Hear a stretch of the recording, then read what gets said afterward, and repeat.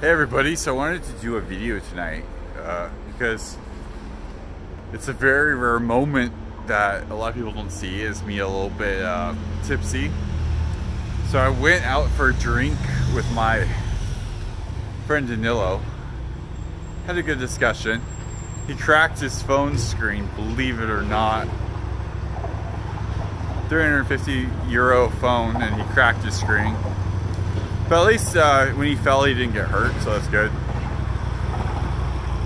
But I just want to tell you guys, Serbia is the place to be for sure.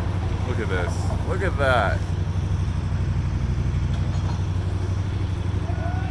Look how beautiful this is. So yeah, if you're tired of your country and you want to come to Serbia, do it. Don't delay. It's uh, it's a little bit late at night, but as you can see,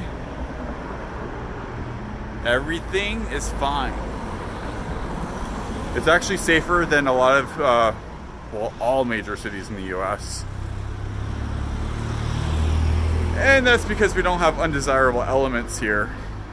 And, uh, except for gypsies, but they won't hurt you. Uh, they won't rob you.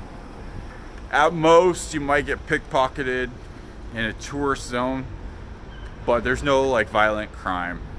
Uh, you won't get mugged with a weapon on the street.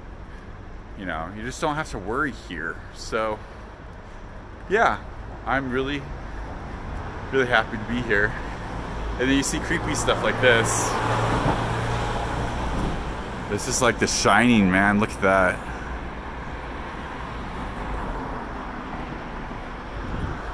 Hello. I'm I'm I'm vlogging from the US. I have a YouTube channel. Hey, hello. Hello. How are you? Pretty good. Good. Where are you from? Philistine. Where? Philistine. Philistine. Phil- Kurdistan. Yes. From Erbil.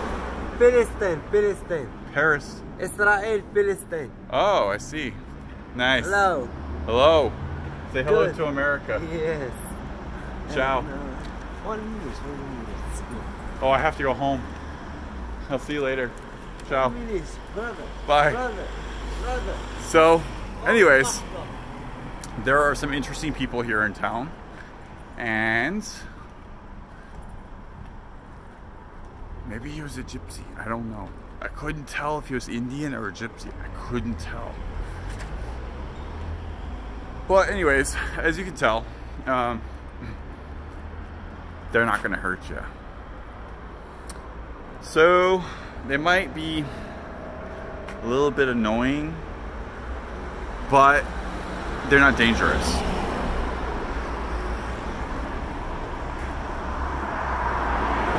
I love it here.